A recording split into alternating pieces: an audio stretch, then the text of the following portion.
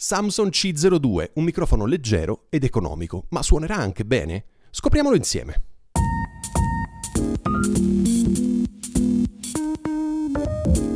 Buongiorno, oggi siamo in compagnia del Samsung C02, un microfono a condensatore in formato pencil. Si chiamano così questi microfoni che sono molto molto piccoli, pencil quasi come la lunghezza di una penna. Allora, questo è un microfono misterioso. In che senso? Nel senso che dopo, quando ti farò vedere le specifiche tecniche, vedremo che alla Samsung non sono molto convinti di quale sia il formato polare di questo microfono, ma di questo ne parliamo dopo. Allora, questo è un microfono che costa intorno ai 60 euro, quindi anche abbastanza economico. Eh, un microfono eh, robusto nella sua realizzazione che viene fornito insieme a un, uh, un, uh, un gancio per mantenerlo sul microfono e insieme al suo pop filter che come puoi vedere non so se riesci a vedere, è veramente molto molto piccolo e credo sia anche abbastanza inutile, ma eh, di questo faremo un test dopo. Ok. Allora, ho preso questo microfono perché ero incuriosito dalle tante recensioni viste su YouTube, alcune di queste recensioni positive, altre negative. Eh, molti lamentavano il fatto che fosse un microfono rumoroso, altri lamentavano il fatto che soffrisse molto della, dell'effetto prossimità, ovvero che più ti avvicina al microfono, più la voce si riempie di bassi. Ora vedremo tutto comunque.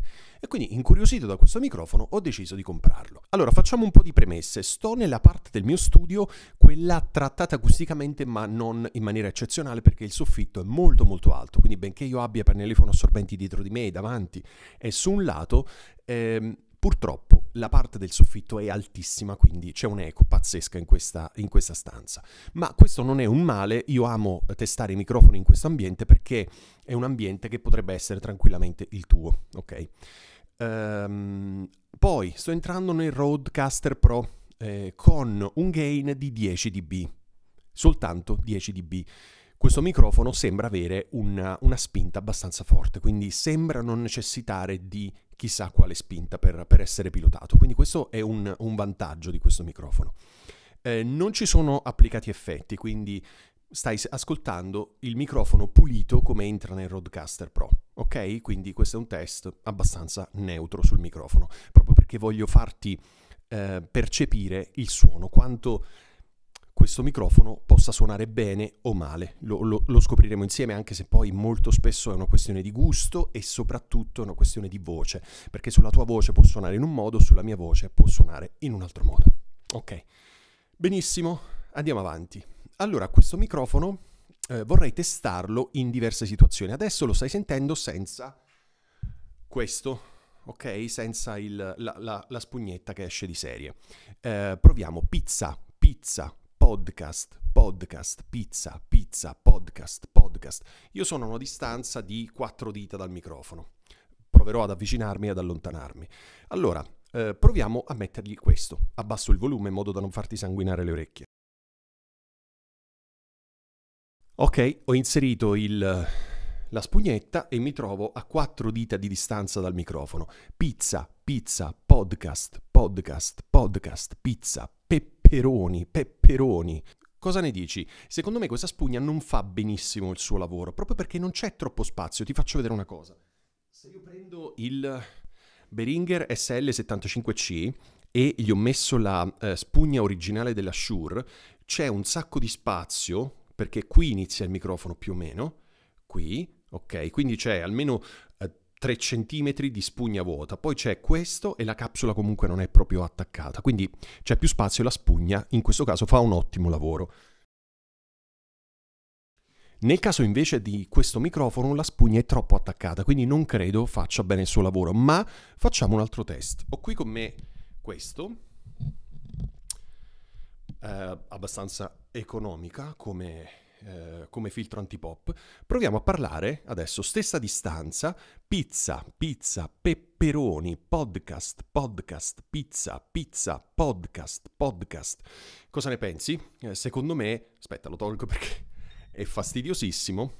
Eh, secondo me, con anche questo eh, filtro antipop davanti, sicuramente l'effetto è molto molto migliore. Ok? Poi dimmi tu anche che cosa ne pensi, ovviamente, lasciami i commenti in questo video. Eh, proverò a stare un attimo in silenzio perché molte persone appunto lamentavano di un esagerato rumore di fondo, quindi starò in silenzio per qualche secondo e farò dei test, ti alzerò il volume in post produzione eh, per vedere appunto con più 3 decibel, più 6 decibel, più eh, non so 12 decibel, vediamo eh, quanto rumore poi alza. Sto un attimo in silenzio.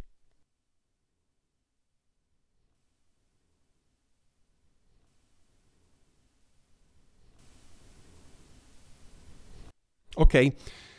Non mi sembra esagerato, però insomma sicuramente eh, in un ambiente non trattato, se io dovessi registrare in questa stanza qui e non nello studietto, quello eh, trattato acusticamente, probabilmente questo microfono non sarebbe la mia prima scelta. Però, ripeto, dipende da molti fattori. Provo a arretrare un po', per quanto posso, perché il muro non è troppo distante da me. Adesso sono a, eh, diciamo, due mani di distanza dal microfono.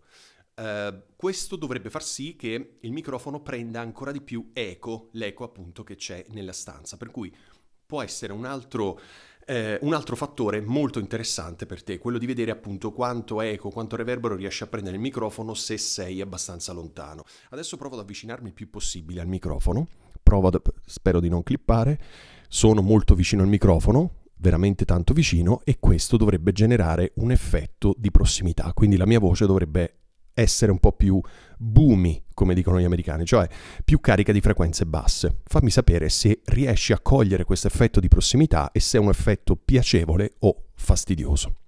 Ok, torno indietro.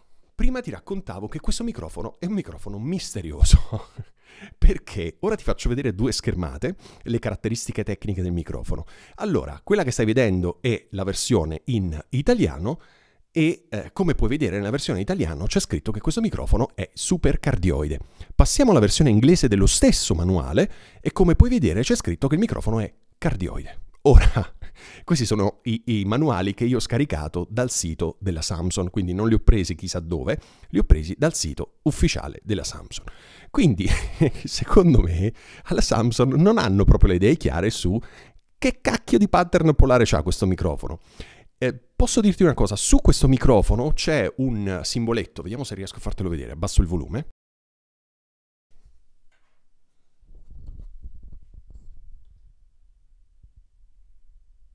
Non so se la macchina riesce a mettere a fuoco, qui c'è un simboletto che dovrebbe far pensare al supercardioide, perché è un, un cuore e c'è anche un, un pezzettino alla fine, quindi come puoi vedere è abbastanza diverso rispetto al, al, pattern cardioide che di solito siamo abituati a vedere, cioè quel pezzettino posteriore che lascia presagire che sia supercardioide. Quindi c'è stato un errore di battitura nel, nel manuale, ma poi nel manuale inglese, cioè in quello italiano in teoria dovrebbe essere corretto supercardioide, in quello americano, inglese, insomma quello worldwide c'è scritto cardioide, quindi è un po' strana questa cosa, però non lo so, non lo so, secondo me è supercardioide dalle caratteristiche. Guarda, proviamo.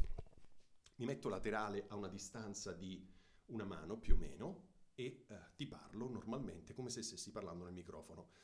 Ok? Quindi questo è l'effetto che genera questo tipo di microfono. Ok? Quindi secondo me da queste caratteristiche è un microfono supercardioide torno in avanti. Supercardioide, lo ricordiamo, è diverso dal cardioide perché? Perché è molto più sensibile nella parte anteriore, meno nella parte laterale, ma di più rispetto al cardioide nella parte posteriore. Ci sono persone che preferiscono il supercardioide o addirittura l'ipercardioide e ci sono per persone che preferiscono il pattern polare cardioide. Dipende molto dall'ambiente nel quale registri. In teoria avere un microfono che ha diversi pattern polari tra cui switchare dovrebbe essere la scelta migliore perché così in base all'ambiente nel quale registri tu hai la possibilità di scegliere il miglior pattern polare e utilizzare sempre quello. Ok. Allora, che altro dirti? Ti ho detto già che questo microfono costa intorno ai 60 euro, 50-60 euro, il prezzo è molto variabile su Amazon. Eh, ti arriva con questa custodia custodia abbastanza standard come quella dei Behringer, come insomma ce ne sono tante, però è comodo perché se devi portarlo in giro puoi tranquillamente portarlo lì. Perché ho preso questo microfono? Perché innanzitutto ero incuriosito dalle recensioni, ma perché è un microfono piccolino e leggerissimo, pesa, scusami, leggo, 170 grammi soltanto. È un microfono leggero eh, che puoi portare tranquillamente con te e se si dovesse rompere, se si dovesse perdere, se te lo dovessero rubare, tutto sommato va bene. È un danno minore rispetto a prendere magari un microfono molto più costoso e lì veramente potresti soffrire tanto. Quindi un microfono del genere è comodissimo da portare in giro perché secondo me fa egregiamente il suo lavoro. Non è un microfono flat, è un microfono che spinge più sulle alte frequenze, quindi se la tua voce uh, ha già tante frequenze alte, probabilmente questo microfono non è il microfono più adatto a te. Se invece hai una voce più bassa o comunque più mediosa, probabilmente questo microfono ti dà un po' d'aria in più sulle, sulle, frequenze alte. Come al solito non esiste il miglior microfono, anche se spesso in giro trovi video che dicono questo. Esiste il microfono migliore in questo momento per te che hai quella voce che registri in quell'ambiente. Stop. Tutto il resto sono sciocchezze. Va bene?